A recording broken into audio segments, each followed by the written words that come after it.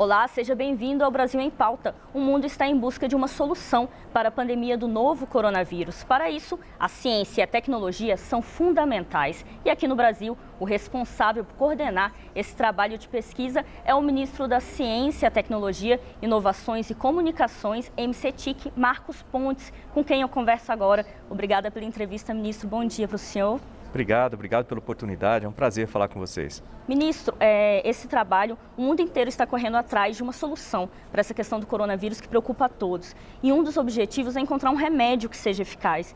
E o Brasil tem uma boa notícia que tem um remédio realmente, que é um remédio já aprovado pela Anvisa e que tem uma testagem que mostra que ele pode ser um importante componente na luta contra o coronavírus. Ministro, como que está esse trabalho, a testagem desse medicamento? Como que a gente, o que, que a gente pode saber sobre esse assunto? Exato. É, isso nós chamamos de reposição de drogas, né? reposição de medicamentos. Ou seja, nós testamos duas mil drogas diferentes, duas, dois mil remédios diferentes já existentes, já estão nas, nas farmácias, vamos dizer assim, ou seja, já passaram por todas as baterias de teste. E a partir desse teste com duas mil drogas, isso foi feito com inteligência artificial, com modelamento matemático, é, com, com, muita pesquisa inicial, né? isso aí foi feito no Laboratório Nacional de Biociências, a partir dessas daí, nós identificamos cinco, apenas cinco, que tinham uma característica adequada para o combate ao coronavírus. Então, essas daí foram testadas em, vitro, que a gente chama, ou seja, com células reais em laboratório. E dessas, uma delas se destacou, que é a nitazoxanida. Essa daí teve 94% de sucesso no, na redução da carga viral. Então, nós pegamos essa, essa droga, esse remédio, nitazoxanida, e passamos para a última fase desse processo, que é o teste com pacientes, porque às vezes funciona é, no laboratório, mas quando pega um organismo completo, é, tem um resultado diferente. Então, nós passamos para os testes clínicos, testes clínicos com 500 pacientes, né, no primeiro protocolo, agora nós estamos iniciando um segundo protocolo é, com mais 500 pacientes. Esses 500 pacientes do primeiro protocolo, é, ele já, já está acontecendo, nós já temos em torno de 200 pacientes, nós precisamos de mais 300 voluntários. Lembrando que essa é uma droga que não tem nenhum efeito colateral, ou seja, ela, é, ela é usada para verminose, para rotavírus, né? e não, tem perigo nenhum a participação, muito pelo contrário. O paciente que entrar nesse primeiro protocolo, ele precisa ter é, febre e o início de pneumonia, né? e, e obviamente é, testado positivo para o coronavírus. Nós temos 20 hospitais participando, que no nosso site www.mcetic.gov.br tem a lista desses hospitais. Então, a pessoa que quer participar, ela vai ter todo o tratamento normal que teria se não estivesse participando no hospital. Além disso, ele tem exames extras, além disso, ele tem esse tratamento extra e os resultados estão sendo bastante interessantes. Tá certo, legal. Ministro, uma outra coisa que tem sido conversada é sobre a importância da testagem, né? Testar em massa a população. E para isso é preciso do reagente. E eu queria saber com o senhor como que está essa pesquisa em relação a testes sem reagentes e também de um reagente nacional. É, nós colocamos três prioridades no Ministério em torno dessa, desse eixo que eu chamo de ciência, como combater o vírus lá, propriamente dito. Então, é, a primeira prioridade nessa, nessa área é a busca da reposição de medicamentos, que eu acabei de falar a respeito da nitazoxanida.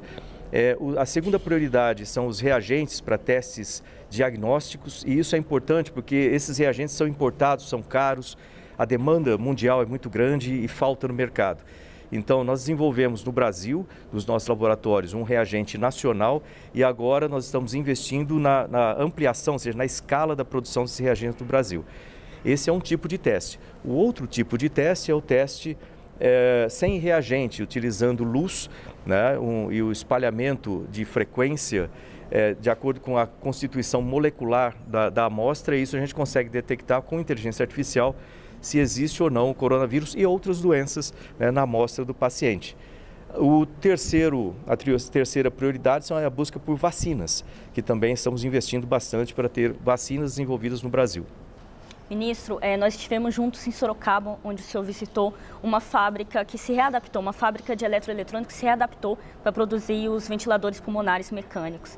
É, eu queria saber como está esse trabalho do MCTIC em relação, junto às indústrias, para que tenha conserto de ventiladores que já estão no mercado, para que tenha mais produção, para que tenha uma produção nacional, não haja necessidade da gente exportar, importar para cá esses ventiladores. Como que está esse trabalho? Olha, esse é um trabalho muito bonito feito pela nossa Secretaria de Empreendedorismo e Inovações. É, o MCTIC, pela sua natureza, ele é um grande articulador é, em ciência, tecnologia e inovação no país e um grande alavancador, vamos dizer assim, né, dessas tecnologias. Então, através da nossa secretaria, nós é, conversamos com diversas empresas que formaram clusters, né, grupos de empresas, para o desenvolvimento para a escala de, é, da construção de ventiladores no Brasil. Lembrar que esses ventiladores eles possuem alguns componentes importados. Primeiro, importar o ventilador inteiro é uma dificuldade grande, como a gente observou. As, é, as compras são feitas, por exemplo, na China e não são entregues. Não, então, é, com isso, fabricar ventiladores no Brasil se tornou estratégico para o país, mas ainda existe a necessidade de alguns componentes. Ok. E, então nós investimos inicialmente na pesquisa e no desenvolvimento de inovações para ventiladores completamente desenvolvidos no Brasil. E depois, né, nessa fase, nós estamos investindo na, na produção de ventiladores, ou seja, como escalar, mudar a linha de produção e escalar a produção. É, e também a, a, grande novidade é que nós temos já quatro empresas no Brasil que desenvolveram o ventilador completamente no Brasil, sem nenhuma peça importada. E nós também estamos investindo nisso para escalar essa produção. O resultado disso é que em torno de 90 dias, né, e obviamente distribuído ao longo dos 90, 90 dias, a indústria brasileira vai ser capaz de entregar 40 mil ventiladores pulmonares. É, isso é muito importante para a nossa nosso sistema de saúde e também permite uma escala em termos de é, exportação do país, né, dessas indústrias para os países vizinhos e outros países. Nisso nós estamos vivendo um momento novo no mundo, em que muita gente pôde trabalhar em casa de home office, é, também um momento de isolamento em que as pessoas acessaram a telemedicina para poder tirar dúvidas, enfim, serem tratadas desse coronavírus. Então é um momento importante em relação à internet. O Brasil está preparado? Tem internet? Como que está essa rede de computadores para atender as pessoas nesse momento? É, no setor de comunicações do Ministério, esse é o nosso terceiro eixo de, de trabalho, é, nós temos trabalhado com o que nós chamamos de rede MCTIC conectada.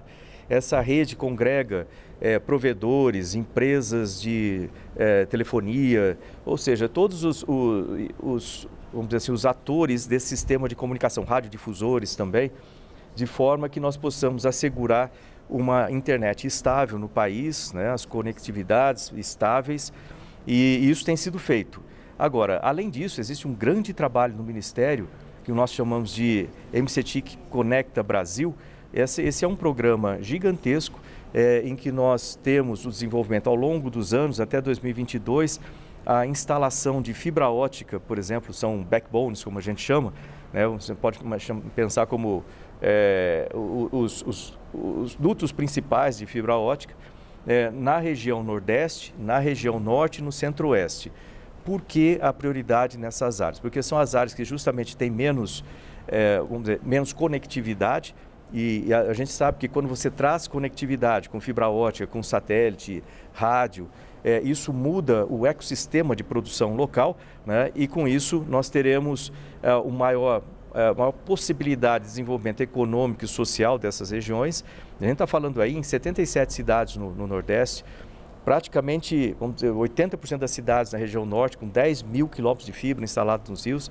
E é no centro-oeste o foco é a conectividade do campo para melhorar, vamos dizer assim, a produtividade do agronegócio. Então tem muita coisa bacana chegando pela frente aí em conectividade. O governo Jair Bolsonaro, com certeza, ele vai transformar o país em telecomunicações. Isso aí pode ter certeza. Ministro, é, ainda falando sobre essa questão da pandemia, um outro assunto que é importante a gente falar é sobre a questão do sequenciamento do genoma, que os cientistas brasileiros estão trabalhando. Explica para o público em casa que é leigo, que não entende tão bem, por que, que é importante sequenciar o genoma em relação à Covid-19? É, veja bem, cada vírus, né, aliás, tem um número astronômico, a, a, a previsão, né, o que o pessoal imagina que trabalha nessa área, da quantidade de vírus, tipos de vírus diferentes no planeta Terra é 10 elevado a 31. Ou seja, 1 com 31 zeros. Eu não sei falar esse número, mas o um número realmente astronômico. Então, é importante que o país esteja preparado para as próximas pandemias. Isso significa preparar-se em termos de estrutura de ciência. Nós temos a Rede Vírus MCTIC, que é um grupo é, muito capaz de pesquisadores, cientistas no Brasil que, que nos dá, vamos dizer assim, as diretrizes para o Ministério, aonde nós devemos aplicar recursos e, na, na pesquisa. E disso né, nós temos que preparar a infraestrutura para isso, inclusive é, nos últimos recursos que nós recebemos também, é, na, faz duas semanas, foram 352 milhões, parte desses recursos vão ser aplicados na, no, na construção e estudo, construção laboratório nível 3, e o estudo e o início da construção laboratório nível 4 de segurança, eh, biossegurança. Né? Isso é extremamente importante para o país ter isso como infraestrutura. Além disso, é necessário ter espalhado no país, e a gente usa muitas universidades, centros de pesquisas para isso, estruturas que sejam capazes de fazer o sequenciamento genético do vírus. Por que isso? Porque o vírus, ele, ele passando pelo organismo, sendo reproduzido pelo organismo, ele é, tem certas modificações, certas mutações.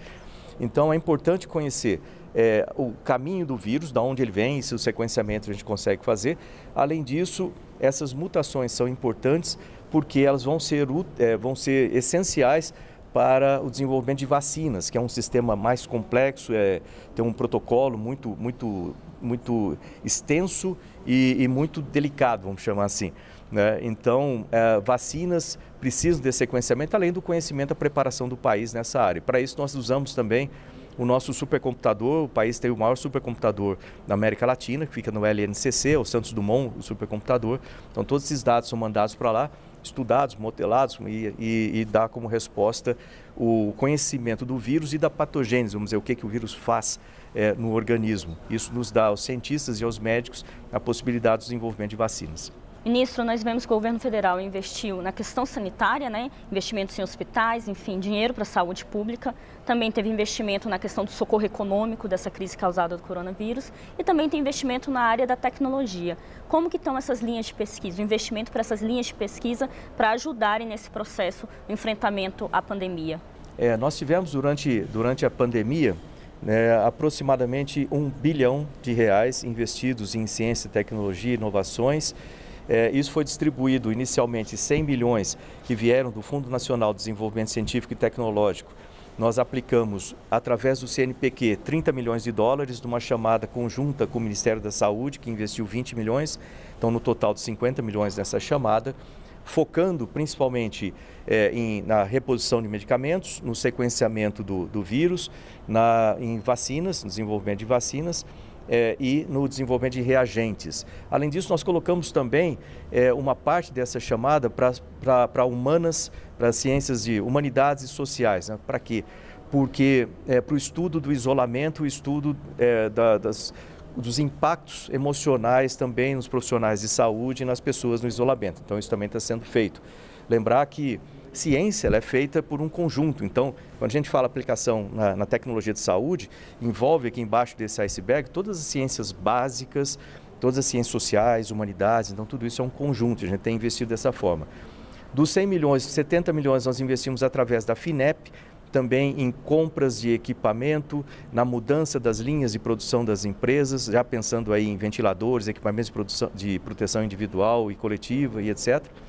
É, depois, eh, nós tivemos um aporte através da FINEP de 600 milhões que foram colocados também para as empresas a um, a um juro muito baixo, né? Que lembrar que a FINEP não é um banco, a FINEP é um órgão essencial do Ministério eh, e do sistema de ciência e tecnologia do país para fomentar a infraestrutura de pesquisa do país. Então foram colocados 600 milhões nisso e mais 352 milhões na duas ou três semanas atrás eh, que foram colocados já na nós investimos primeiro na pesquisa e no desenvolvimento de inovações. E esses, esses outros recursos, prioritariamente, foram colocados no aumento da escala de produção é, de reagentes, escala de produção de ventiladores, etc., no, no país. Então, é, é, um dinheiro extremamente bem utilizado. Né? Lembrar que recursos para ciência e tecnologia é um investimento que dá retorno rápido, retorno garantido. E nós temos agora o Fundo Nacional de Desenvolvimento Científico e Tecnológico, o FNDCT, né, numa, num trabalho que está sendo feito com o Ministério, com a indústria, com todo o setor produtivo do, do país, o Congresso Nacional e o Ministério da Economia, para que esse fundo seja liberado de forma que nós possamos utilizar isso como investimento para alavancar a retomada do país utilizando ciência, tecnologia e inovações. Perfeito, ministro. A conversa está ótima, mas a gente tem que ir para um pequeno intervalo. A gente volta já já, não saia daí.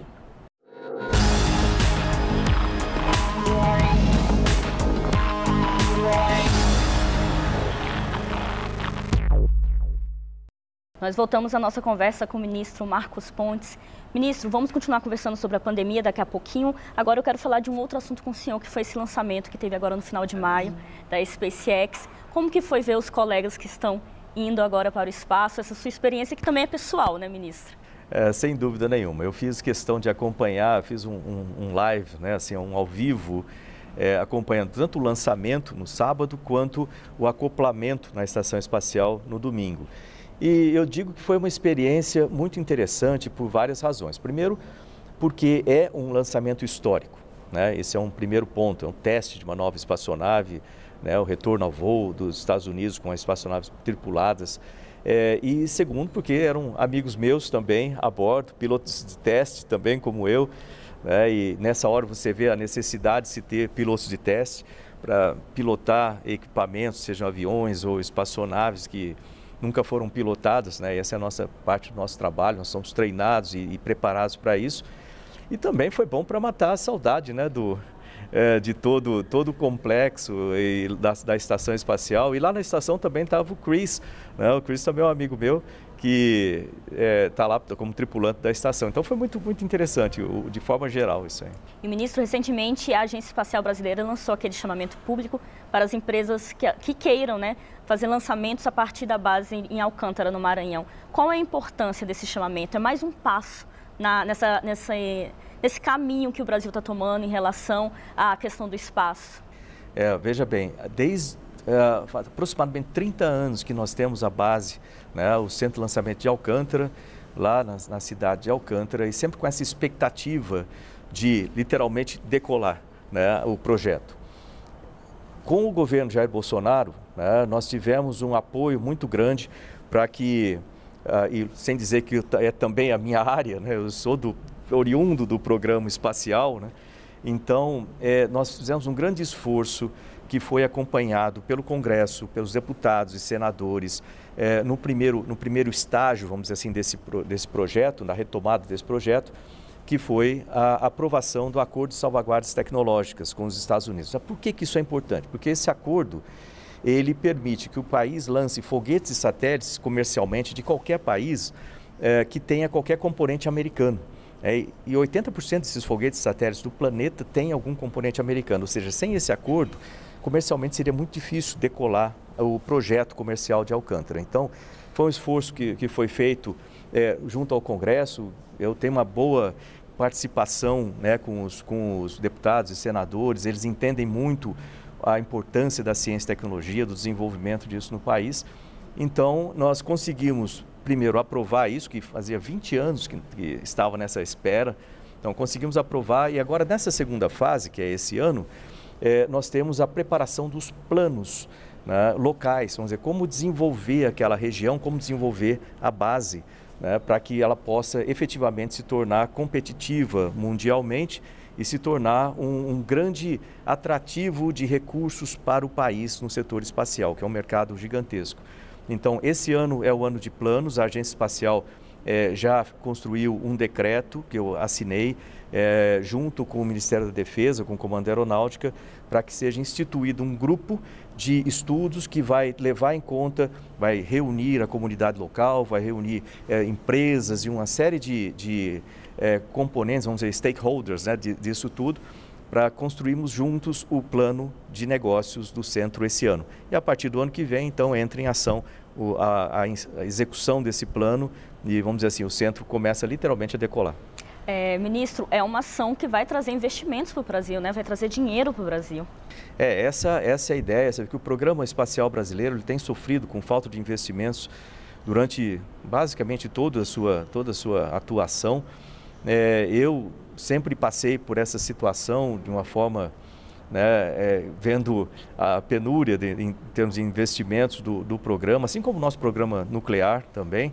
E agora, como ministro, né, lembrando que a política espacial e a política nuclear são competências do Ministério de Ciência, Tecnologia, Inovações e Comunicações, nós temos a oportunidade de colocar um, um foco, colocar uma prioridade nisso. E o presidente Jair Bolsonaro ele também é, congrega com essa, com essa ideia de é, que nós precisamos ter essas tecnologias estratégicas, ou seja, parte espacial, nuclear e segurança cibernética, né, ou cibernética como um todo, incentivadas e, e levantadas. Isso é importante para a soberania do país, é importante para o desenvolvimento econômico, social.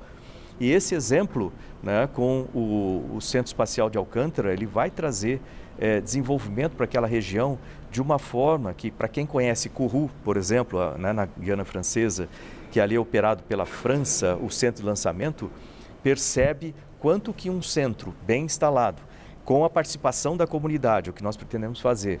Empresas locais, pessoas locais sendo treinadas para trabalhar é, no centro, trabalhar com.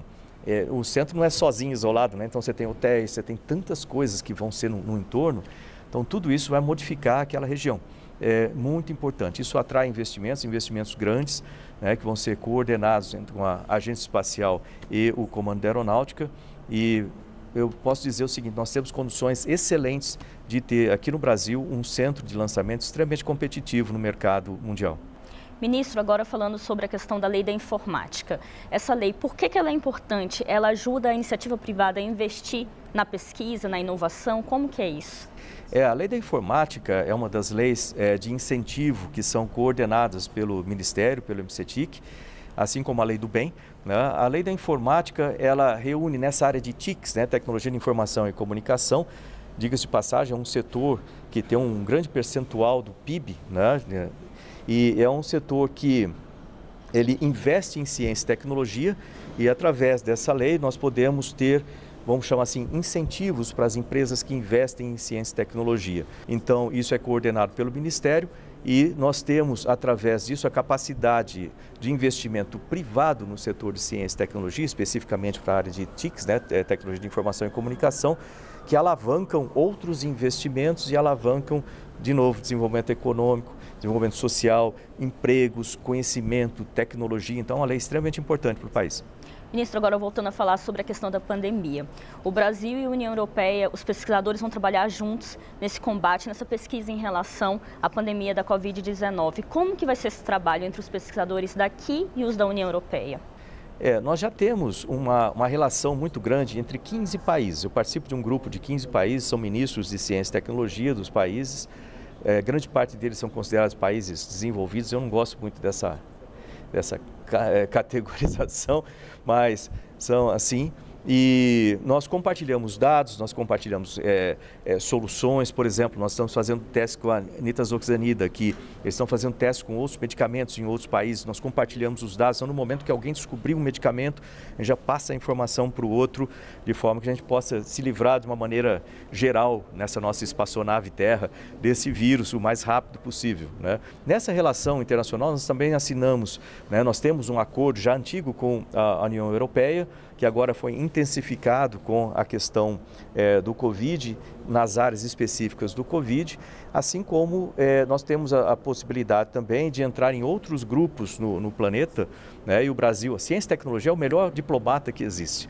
Né, isso pode ter certeza, eu já tenho feito esse trabalho, seja nos meus certas décadas na, na NASA, né, como astronauta e também eu sou embaixador da ONU para desenvolvimento industrial, então a gente percebe quanto que a ciência e tecnologia ela abre caminhos, é, coloca de lado quaisquer diferenças e conflitos e consegue é, fazer essa interação, essa união entre os países de uma forma muito eficiente. Então eu tenho utilizado isso no governo Jair Bolsonaro, essa, esse meu conhecimento e reconhecimento internacional para abrir esses caminhos e levar o Brasil junto comigo, junto com a minha imagem internacional, né, a ter sucesso nessas relações. E agora a gente espera o desenvolvimento de remédios, o desenvolvimento é, de outros produtos, o trabalho contínuo para se preparar para as próximas pandemias de uma forma integrada e também de vacinas, né, que é um trabalho que tem sido feito no planeta como um todo. Ministro, eu acho que o desejo mundial agora, todo mundo deseja, é o fim dessa pandemia, que a gente vá para um novo momento. E para esse mundo pós-pandemia, qual é a função, qual é o papel da ciência e tecnologia nesse novo mundo que vai surgir a partir de agora? E também como que o senhor vê o Brasil daqui para frente, depois que a gente superar esse momento tão difícil? É, a pandemia é um, é um momento muito difícil para o planeta como um todo e, de certa forma, redefine certos valores no, no planeta das pessoas é, e redefine a, até, eu diria, a, a parte geopolítica é, em termos de comércio, em termos de ciência, tecnologia, desenvolvimentos, necessidades. Então, apesar da, da situação ser terrível como um todo, o Brasil ele precisa se preparar e, e se preparar para as próximas pandemias, ou seja, seja no setor de ciência para uma resposta muito rápida na, no início de algum tipo de coisa como essa, a nossa capacidade de produção de remédios, vacinas, a capacidade de produção local de eh, insumos farmacêuticos também, produção local de equipamentos para a saúde, isso é importante ressaltar. É, além disso, veja bem, como os, os países vão ter necessidades depois da pandemia, necessidades econômicas e outros tipos de necessidades de bens de consumo, é, nós precisamos nos preparar aqui no Brasil para que as nossas indústrias possam, entre aspas, aproveitar essa oportunidade para é, se colocar no mercado de uma forma mais é, forte, mais intensa no futuro. O Brasil pode se tornar uma potência de produção, nós temos todas as condições, condições para transformar a nossa indústria, nós já temos um agronegócio muito forte também, utilizar os nossos recursos naturais de forma sustentável. O presidente Jair Bolsonaro tem falado muito sobre isso. E o Ministério de Ciência, Tecnologia, Inovações e Comunicações é o canal, vamos dizer assim, a ferramenta para que tudo isso aconteça. Nós estamos no, no ponto central disso. Né? Então, é, incentivar as inovações do país, incentivar a utilização sustentável dos recursos naturais, incentivar as cadeias produtivas de forma que nós tenhamos todas as condições de atender as necessidades do planeta né, no pós-pandemia. Algumas potências, como China e etc., que se colocaram como é, fábricas do planeta, né, vamos dizer assim, fabricam tudo no planeta, elas vão, é, de certa forma, é, acho que o planeta percebeu que precisa também ter as suas produções. Então, de certa forma, vai, vai haver mais concorrência com a China. E é saudável para o mercado como um todo né, que isso aconteça.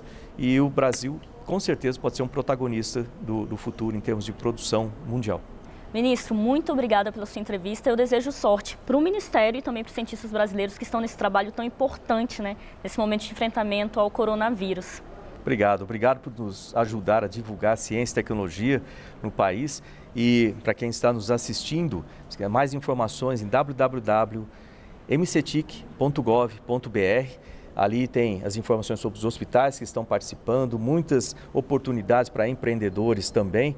É, quem quiser detalhes a respeito dos testes clínicos, existe um e-mail, testesclínicos.mcetic.gov.br é, e um hashtag 500 voluntários já né, nos ajude a ajudar o país. Tá? Um grande abraço, obrigado. Tá certo, ministro. E se você quiser rever esta ou outras entrevistas, acesse nossas redes sociais ou baixe o EBC Play. Obrigada pela companhia e o Brasil continua em pauta aqui na TV Brasil.